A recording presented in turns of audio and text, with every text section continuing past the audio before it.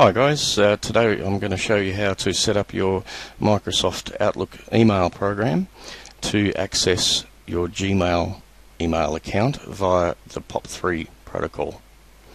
Uh, if you're looking to set up uh, via IMAP, I've got another guide on that coming up. Alright, so for this guide, all you're going to need is your Gmail address, which is your email address, and password, which is the same details you use to log into Gmail. And you're going to need a, a version of Microsoft Office installed on your PC, so 27, 2010 or 2013, uh, and a pen and paper just to take some notes. Now, before we can actually uh, set up Outlook, you've got to um, log into Gmail and change some settings to enable POP. So I'll log into mine and uh, you log into yours. Okay, on your uh, main page there, top right hand corner, we want to hit the settings icon or the gear icon and then choose the settings menu item. Now out of the, the tabs up the top there, we'll choose the forwarding and pop IMAP item. Now on this page we're only concerned with the pop download heading and the two settings there, number one and number two. Now, number one, uh, there's three options. If you want to disable POP, you can disable it, but uh, the first two are the ones we're uh, concerned with. Enable POP for all mail. Now, if you've had a Gmail account for a long time and uh, all of a sudden you've decided to uh, uh, hook it up to Outlook, um, it will download all your mail. So if you've got like four gigabyte, wow, you're going to be there for a while. So um, I would strongly suggest if if that's the case, just choose the second one there, which will um, forward, forward any mail that uh, arrives from this point onwards. All right.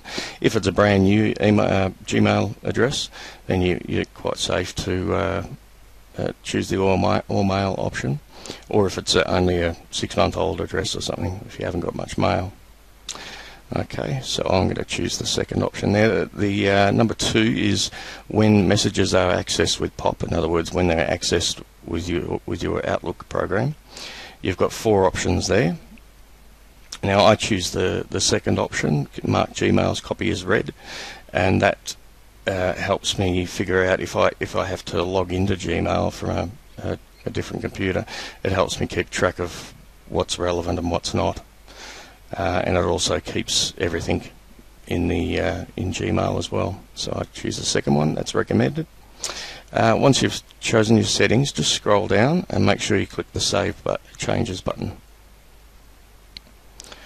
Now, the first one I'll take you through is a, a new installation of Microsoft Office and an Outlook that's never been used or set up before. Okay, it's just a little bit different, that's all. So I'll take you through that first. The difference is we have this startup page. Alright, so if you if you've got that in front of you, click next and we choose yes to configure an e email account. And then we're on the auto account setup page. Alright, now we want to hit the manually configure server settings or additional server types down the bottom and then click next. We want the internet email, first option. Okay, this is the page we're on the, we want internet email settings page. Alright, so I'll take you through how to access that page in 2007 now.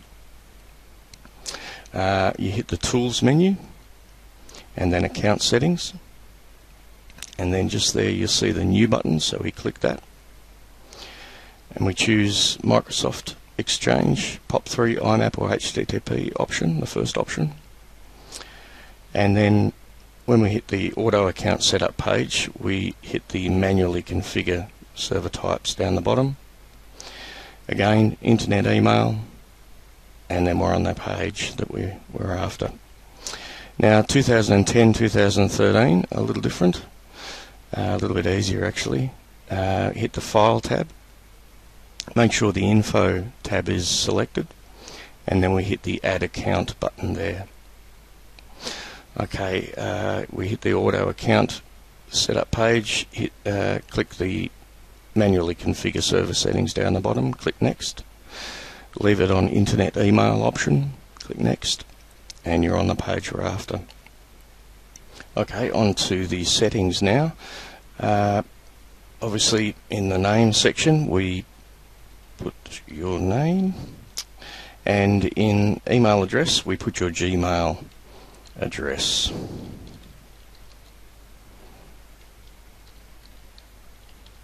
Okay. Uh, choose POP3 for the account type. Now the incoming mail server for Gmail is pop.gmail.com, all lowercase. Outgoing server is smtp.gmail.com.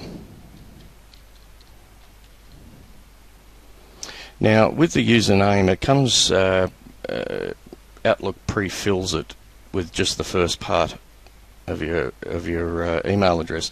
We need the full e email address, so just complete that there, which is at gmail.com, and then you pop in your password, which I'll just get in my clipboard. Now, before oh, we'll go through the rest of the settings. Le leave uh, remember password checked. Do not, under any circumstances, uh, check the SPA uh, because uh, very few servers support that, and it just causes problems in my experience. Um, we leave the checkbox at test account settings by clicking the next button. We'll leave that checked. And I would suggest having a new Outlook data file. Um, it just keeps things uh, separate in the in the Outlook store folder, uh, so that if if uh, there's any emergencies, you can uh, tell which email address is which and which data is whose. Now, before we click next, we've got to uh, customize some more settings. So we go to the More Settings button, and we hit the Outgoing Server tab. Now we want to check that checkbox, which is my outgoing server SMTP requires authentication, and we want the first option selected, which is use same settings as my incoming mail server. Alright. Uh, connection, we leave it at LAN, and then we hit the advanced tab. Now, uh, Gmail requires uh, SSL uh, on both ends for incoming and outgoing. Um, so put in the incoming server POP3 port, uh, we want to put port 995. Alright? And just under that, you'll see that this server re requires an encrypted connection, SSL. Uh, make sure that's checked. Now, outgoing server SMTP, um, if uh, obviously you, have got uh, either 27, 2010, or 2013, that all supports they all support uh, TLS or start TLS encryption. So in this port, put 587, which is the latest and greatest. Port uh, uh, 465 is a little bit uh, outdated now, and it's been superseded Okay, under the under that you'll see the use the following type of encryption encrypted connection, and uh, just choose auto there. All right, uh, click on OK, and then click Next. And what'll happen then is uh, Gmail, uh, sorry, Outlook will test the settings. So it's uh, it'll test both incoming and outgoing. And outgoing it'll actually send a test email message. And what you're after is that two green ticks. If you have two green ticks you're all done. It's uh, you can click close and uh, you're, all finished uh, if you've got any red crosses there either one or two red crosses you're going to need to either check your incoming server settings or your outgoing server settings. So if you have to, just go through this guide again and, and double check that everything's uh, uh, as as I've put in here. Uh, specifically the ports too, because uh, they can be messed up. So uh, click close to that, and you'll get to your congratulations screen. Click finish and you're all done. Okay, on to the settings now. Uh, obviously in the name section we put your name and in email address we put your Gmail address.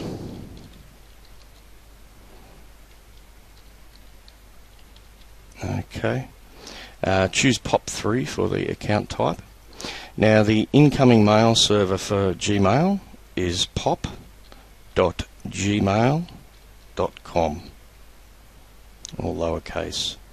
Outgoing server is smtp.gmail.com. Now, with the username, it comes, uh, uh, Outlook pre-fills it with just the first part of your of your uh, email address. We need the full e email address, so just complete that there, which is at gmail.com, and then you pop in your password, which I'll just get in my clipboard. Now, before oh, we'll go through the rest of the settings. Le leave uh, remember password checked. Do not, under any circumstances, uh, check the SPA uh, because uh, very few servers support that, and it just causes problems in my experience. Um, we leave the checkbox at test account settings by clicking the next button. We'll leave that checked. And I would suggest having a new Outlook data file. Um, it just keeps things uh, separate in the in the Outlook store folder, uh, so that if if uh, there's any emergencies, you can uh, tell which email address is which and which data is whose. Now, before we click next, we've got to uh, customize some more settings. So we go to the More Settings button and we hit the Outgoing Server tab. Now we want to check that checkbox, which is My Outgoing Server SMTP requires authentication, and we want the first option selected, which is use same settings as my incoming mail server. Alright. Uh, connection we leave it at LAN, and then we hit the Advanced tab. Now, uh, Gmail requires uh, SSL uh, on both ends for incoming and outgoing. Um, so put in the incoming server POP3 port, uh, we want to put port 995.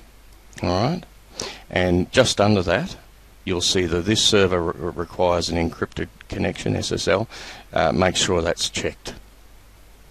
Now, outgoing server SMTP, um, if uh, obviously you, have got uh, either 27, 2010, or 2013, that all supports they all support uh, TLS or start TLS encryption. So in this port, put 587, which is the latest and greatest. Port uh, uh, 465 is a little bit uh, outdated now, and it's been superseded Okay, under the under that you'll see the use the following type of encryption encrypted connection, and uh, just choose auto there. All right, uh, click on OK, and then click Next. And what'll happen then is uh, Gmail, uh, sorry, Outlook will test the settings. So it's uh, it'll test both incoming and outgoing and outgoing it'll actually send a test email message and what you're after is that two green ticks if you have two green ticks you're all done it's uh, you can click close and uh, you're, you're all finished uh, if you've got any red crosses there either one or two red crosses you're going to need to either check your incoming server settings or your outgoing server settings. So if you have to, just go through this guide again and, and double check that everything's uh, uh, as as I've put in here. Uh, specifically the ports too, because uh, they can be messed up. So uh, click close to that, and you'll get to your congratulations screen. Click finish, and you're all done.